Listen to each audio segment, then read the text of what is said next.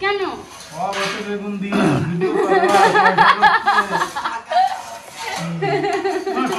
করছে।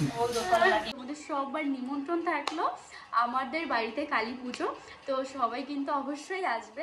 দূর থেকে যদিও বা আসতে পারবে না আহ, কিন্তু hey everyone welcome back to my channel vlogs কেমন আছো তোমরা সবাই? আশা করছি সবাই খুব ভালো আছো। তো আজকে হচ্ছে শুক্রবার তো আজকে এখন বাজে হচ্ছে দশটা। তো খাওয়া দাওয়ার পর মানে সকালে খাওয়া দাওয়া সেরে আমি ব্লগটা স্টার্ট করলাম।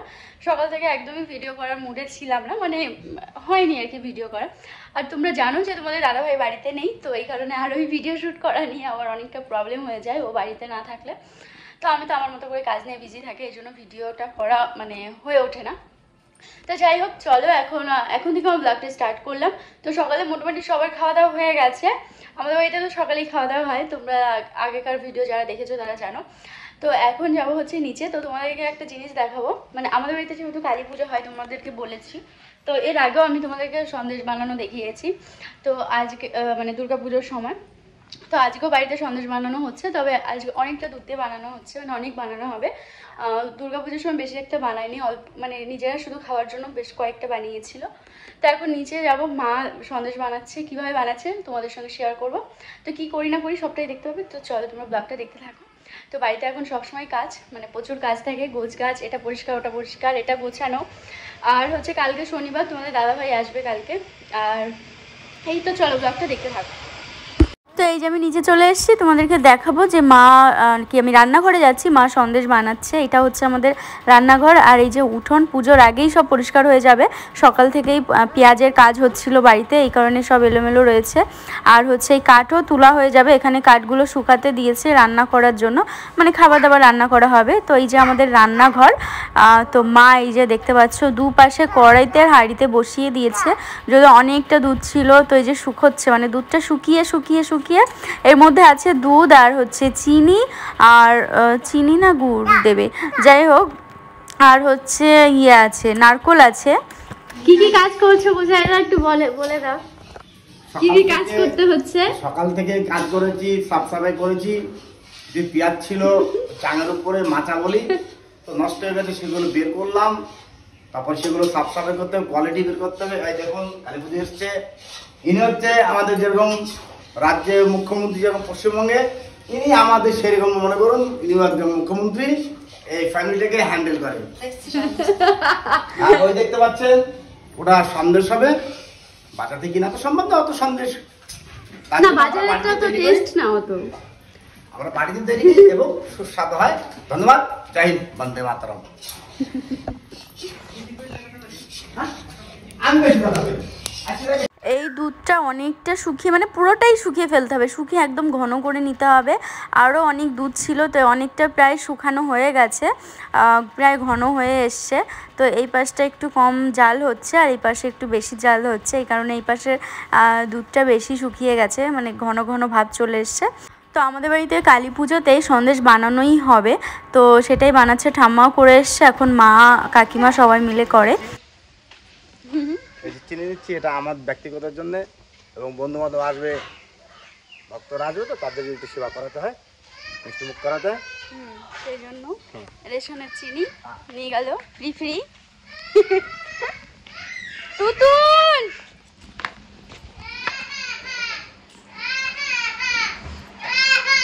আসো কি হয়েছে? ওই যে দু বোনে স্কুলে গেছিল। কি হয়েছে তুতুল, কোথায় গেছিলে? এখানে আসো, বাড়ি এখানে আসো। বলে দাও এই যে দু বোনে গেছিল স্কুলে কোথায় গেছিলে? কোথায়? Putte.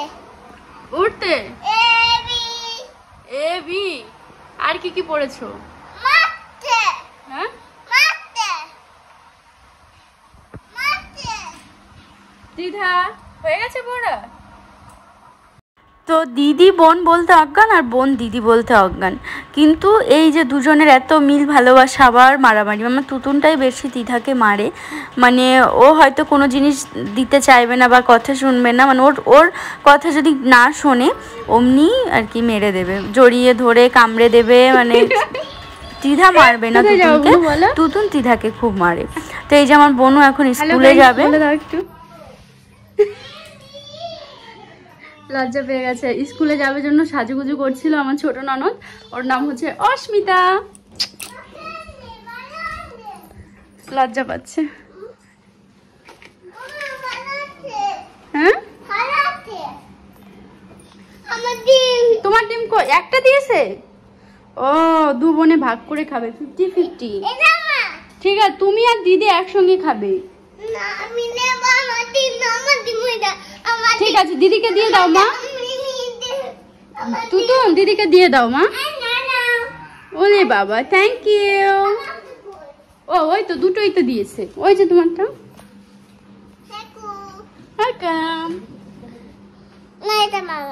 দিদি তো এটা তুই তোরটা নে না তিথা অন করে না আজকে টাকা পেলি না? পাঁচ টাকা। তো এই যে তিয়াস স্কুলে যাচ্ছে এখানে দাঁড়িয়ে মানে বাবা রেশন দিচ্ছে ওখানে দাঁড়িয়ে ও টাকা চাচ্ছিল। ওর বড়দাদার কাছে ওর যত বায়না তো যাই হোক স্কুলে যাওয়ার আগে টাকা আর কি নেয়। তো কালকে নাকি পঞ্চাশ টাকা দিয়েছে ও পঞ্চাশ টাকাই মানে খেয়ে এসছে এই জন্য আজকে শুধু পাঁচ টাকা দিয়েছে। তো বোক ছিল বাবা ওকে সেটাই শুনছিলাম এই জন্য শুনে একটু ভিডিও করলাম। এখন আমি যেটা করছি সেটা হচ্ছে বাতাবি লেবু কাটছি, খাব। আর এই লেবু এত টেস্টি এটা হচ্ছে দিদি মানে আমার যা আর কি যায়ের বাপের বাড়ির লেবু দিদিদের গাছের। তো খেতে এত দারুণ, এমনিতে আমি টক বেশি একটা পছন্দ করি না কোনো দিনই জানি না কেন, এখন আরোই বেশি ভালো লাগে না। তো তবে বাতাবি লেবু একদমই টক নয়, একদম মিষ্টি খেতে এই জন্য কাটছিলাম খাওয়ার জন্য। এখন এই যে মাম্মামকে খাওয়াবো, খিচুড়িটা খাইয়ে দেবো ওকে এখন।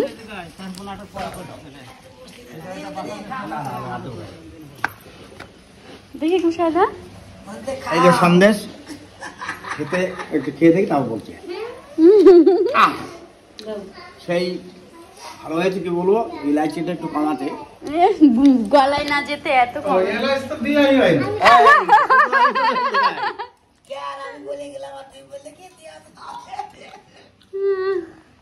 পরে লস্যি দেবো। মনে হচ্ছে পুরো গুড় দিয়ে বানিয়েছে।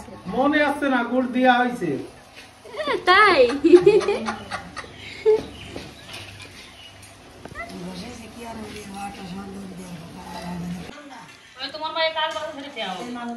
তুতুন, অফ করে না।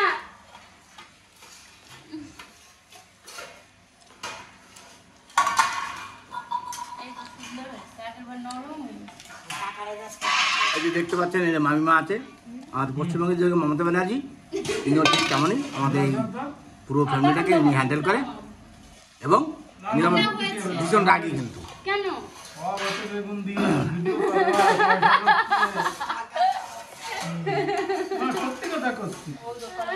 আমি আসতাম কাকা খাওয়াচ্ছিলাম এই না না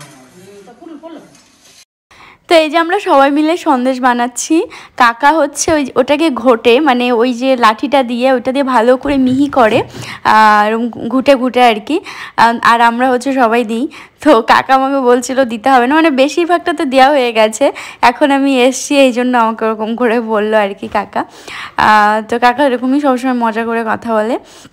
তা এখন হচ্ছে এরকম করে করে দিয়ে দেবো সন্দেশটা। ওটা টেনে যাবে, শুকিয়ে যাবে, দিয়ে আর ভাঙবে না। মানে ফ্রিজে রেখে বা এমনি রেখেও খাওয়া যায়। তবে আমাদের আমাদের তো বেশি দিন আর কি থাকে না, যেহেতু অনেক মানুষ যতই বানানো হোক না কেন, কয়েকদিনের মধ্যে পুরো হাওয়া হয়ে যায়। এ একটা, ও একটা ও একটা ধরে খেতে খেতে একদম মানে বেশি একটা দিন যায় না। তো নর্মাল তোমরা ঘরেও রেখে খেতে পারবে, তোমরাও বাড়িতে বানাতে পার পারো আর কি যদি চাও। বানানো খুব ইজি শুধু একটু টাইম নিয়ে আর কি দুধটা ফোটাতে হবে, এই আর কি।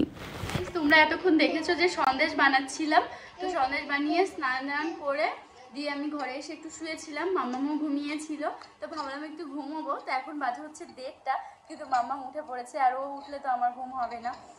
তো উঠে পড়েছে, এখন নিচে যাব। তো আমি ভাবলাম ভিডিও লাস্ট পার্টটুকু করে তারপরে নিচে যাব। তো যেটা বলব, সেটা হচ্ছে পুজো তো চলেই এলো, আর মাত্র দুটো দিন, মাঝখানে শনি, রবি, সোমবারে পুজো। তো বাড়িতে পুজো পুজো এখনও মনে হচ্ছে না কেন বলতো কোনো গেস্ট আসছে না, তারপর লাইটিং হচ্ছে না, যেটা আর কি মেইন কালী পুজোতে, সেটা হচ্ছে টুনি লাইট দিয়ে ঘর পুরো সাজানো হয় বাড়ি রাস্তাঘাট সব জায়গায়। তো এখনও শুরু হয়নি। তোমাদের দাদাভাই কালকে আসবে। কাল থেকেই বোধহয় বাড়ি সাজানো শুরু করে দেবে। তো তোমাদের দাদাভাইয়েরই এই দায়িত্বটা। ওই মানে আগে পরে ওই দায়িত্ব নিয়ে সাজানো গোছানোটা করে। তো আরও কিছু লাইটিং কিনবে আরও আগে আগের মানে আগের বারের আছে। তো ঘরে থাকতে থাকতে না টুনি লাইটগুলো নষ্ট হয়ে যায়। এই জন্য কিছু নষ্ট হলে ফেলে দিতে হবে, নতুন করে কিছু কিনবে। তো যাই হোক, ও কালকে এলে লাইটিং করা হবে বাড়িটা। আর ওই যে আমার দেবর ভাসুর, ওরা আছে, সবাই মিলে করে একসঙ্গে। তো তোমাদের দাদাভাই চলে এলেই পুজো পুজো মনে হবে লাইটিং করলেই। আর রবিবারেই তো বক্স চলে আসে, রবিবার বিকালেই আমরা একটু না মানে নাচ গান করি সবাই মিলে। আর রবিবার থেকেই মনে হবে পুজো, কারণ রবিবারে ডুববে হচ্ছে আমার দু ননদ। ওরা এলেই পুরো পারফেক্ট মনে হবে যে পুজো পুজো। তো সবার যেহেতু সবার হাজব্যান্ড জব করে, এই কারণে শনিবারটা অফিস করে রবিবারে সবাই সকালবেলায় ঢুকে যাবে, সকাল দুপুরবেলায়। আর হচ্ছে, আর কে আসবে? আমাদের বাড়ি থেকে আসবে হচ্ছে আমার দাদা বৌদি। তো দাদা বৌদি, ওরা কলকাতাতে চলে এসছে, তো পিসি বাড়িতে আছে মানে আমার পিসি বাড়িতে আছে বেলঘড়িয়া ওখানে। আর দাদার অ্যাকচুয়ালি একটা কাজ ছিল কলকাতাতে। দাদার আগে যে একটা জব করতো, তো সেই অফিসে বোধহয় কিছু কাজ ছিল। তো সেই কাজের সূত্রেই এসছে কলকাতাতে। তো বৌদিও এসছে, দাদা বৌদি মিলে। তো কলকাতাটাও একটু ঘুরবে, সাথে আমাদের বাড়িতেও আসবে। তো অনেকদিন দাদাকে ভাইফোঁটা দেওয়া হয় না। দাদা যেহেতু পড়াশোনার ক্ষেত্রে বাইরে থাকতো মানে কলকাতায় পড়াশোনা করতো। এই জন্য ভাইফোঁটা ঠিক দাদাকে দিয়ে দেওয়া হতো না আর কি যেহেতু কাছে পেতাম না। তো এবার এবারটা দাদা আসবে, ভাইফোঁটাতেও থাকবে। আমি ভীষণ এক্সাইটেড কেন অনেকদিন পর দাদাকে ভাইফোঁটা দেবো। তো সবাই দেয় সাধারণত, একটু মনটা খারাপ করে যে, আমি দিতে পারি না পুরো কিছু। কিন্তু এর আগের বার আমার দেওর, ছোট একটা দেওর আছে। ওই দেওরকে মানে আমার ছোটো কাকা শ্বশুরের ছেলে দেওরকে ভাইফোঁটা দিয়েছিলাম। তো এবারও অবশ্যই আমার দেওরকে দেবো, তবে সাথে দাদা থাকবে। অনেক আনন্দ করব। তো দাদা, বৌদি দুজনেই কালকেই ঢুকে যাবে। তোমাদের দাদা ভাই আর আমার দাদা আর বৌদি কালকেই চলে আসবে। একসঙ্গেই আসবে, কেন বেলঘড়িয়াতে আছে, তোমাদের দাদা ভাই কলকাতাতে আছে, তো একসঙ্গে যোগাযোগ করে চলে আসবে বাড়িতে। তো কাল থেকেই পুজো পুজো মনে হবে এখনও মনে হচ্ছে না। শুধু ওই যে কাজবাজ হচ্ছে এখানে গোছানো, ওখানে গোছ- গোছানো, সন্দেশ বানানো, নাড়ু করা খই গুড় মাখানো মানে এইগুলো করা হচ্ছে। তো কাল থেকেই মনে হবে একদম পুজো। তো যাই হোক, পুজো ব্লগ তো তোমরা পেয়েই যাবে, ভীষণ আনন্দ করি আমরা পুজোতে। তো নাচ করি সব কিছু হয়তো কি বলো তো পুজোর মধ্যে তো সব কিছু ক্যামেরাতে তুলে ধরা যায় না। কেননা হয়ে ওঠে না পুজোর অনুষ্ঠানে, এত লোকজনের ভিড়ে সব কিছুর মাঝখানে। কিন্তু যতটুকু পারব অবশ্যই আমি তোমাদের সঙ্গে শেয়ার করব। আর একটা কথা যেটা না বললে একদমই ভুল হবে, সেটা হচ্ছে তোমাদের সববার নিমন্ত্রণ থাকল আমাদের বাড়িতে কালী পুজো। তো সবাই কিন্তু অবশ্যই আসবে। দূর থেকে যদিও বা আসতে পারবে না। কিন্তু যারা কাছে আছে মানে চেষ্টা করবে, অবশ্যই চেষ্টা করবে। আর যদি কেউ এসে বলো, দিদিভাই, তোমার ভিডিও দেখি। তো তোমাদের তোমার ভিডিও দেখে আমি এসছি, তো এত ভালো লাগবে আমার, আমি বলে বোঝাতে পারব না, আমি ভীষণ খুশি হব। তোমরা যদি কেউ এসে বলো যে দিদিভাই আমি তোমার ভিডিও দেখি, তোমার ভিডিও দেখে আমি তোমাদের বাড়িতে এসছি। তো আমার কিন্তু ভীষণ আনন্দ হবে, তো সবাইকে সবাইকে অনুরোধ করছি যে, এসো আমাদের বাড়ির পুজোতে। খুব আনন্দ হবে আর আমি ভীষণ খুশি হব। তো চলো আজকের ভিডিওটা এই অবধি, আবার দেখা হবে তোমাদের সঙ্গে কোনো ব্লগে এখন টাটা!